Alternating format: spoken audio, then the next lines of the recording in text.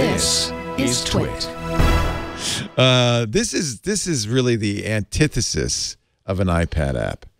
It's called Blink, and what I like about it, by the way, is it supports uh, Face ID.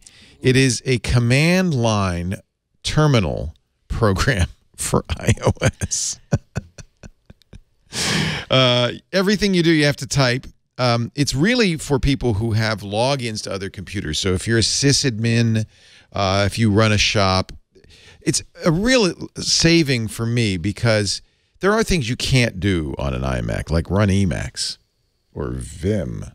But but you might want to do, and now you can. This is actually the best terminal uh, terminal emulator for iOS. It works on the iPhone too, which is kind of cool. Although it's a little harder to type on the iPhone uh, than it is uh, on an iPad. But with, if you have an iPad like I do with a with a command with a uh, keyboard, Keyboard. now you really have. Notice by the way, they have the additional keys that you don't find on the Apple keyboard, like Escape, available here. Uh, you could turn that on or off, and it, the configuration is as appropriate from the command line. You could store your SSH keys in here, as I have, and what that does is it means you, you know, if you set up an SSH server uh, so that you don't use a password, this is a much more secure way to log into it. I know people are going, "What is he talking about?"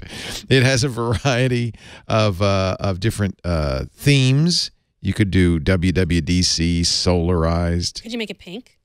You could. Okay. And it comes with some very nice um, fonts for, you have to use uh, mono, uh, you know, uh, fixed width fonts. It comes with my favorite Fira code, which I really like, but is also Source Code Pro and Menlo and Courier. You can change the font size. I, I like to have a fairly big font size, uh, but on the phone you might want to have a smaller size and so forth.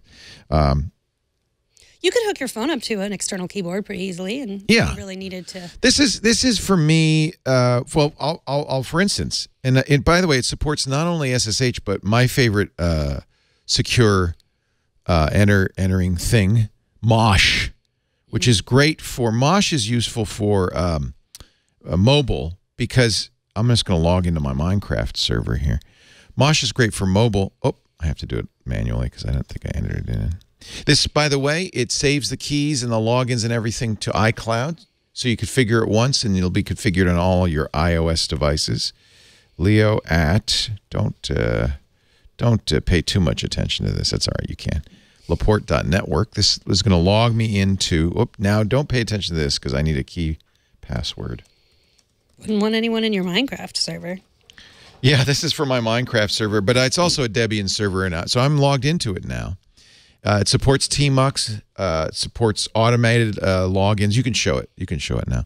So now I'm no longer on my iPad. I'm on. Uh, in fact, I can go over to my Minecraft server. Let's let's just see if anybody's playing the uh, Minecraft. Uh, let's see. I left the game recently. Uh, let's see if there's another. This is another server and another server and another server. And so these are various servers running. I can stop the server. I can restart the server. Um, this is this is a command line logged into a computer in my house. Um, I could even run if I wanted to. I think I have Emacs on here. Let me just see. I could run. Uh, yeah, so I can run uh, Emacs. Did you ever think you'd ever want to run Emacs on your iPad? No, probably not. But you can. That's the point. You could if you wanted to. What could I do on that? Nothing. It's not for you. This is this is this is not for you. But but uh, it is it is very handy for people.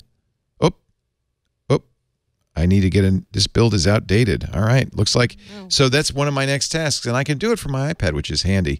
I can rebuild my uh, my server and and so forth. Uh, and it looks like I need to do that uh, in just a bit. So very handy. Uh, it is a very limited um, program. It's not for everybody. It's also expensive. It's twenty dollars, uh, but it's an open source project. You can find out more at blink.sh. It is a. r- I've tried a number of terminals on iOS, uh, and this is really the one. So if for some reason this is really geeky, but if for some reason you want a terminal, um, you know, and I can do Python programming on here because I'm because I'm logged in to a um, a real uh, server.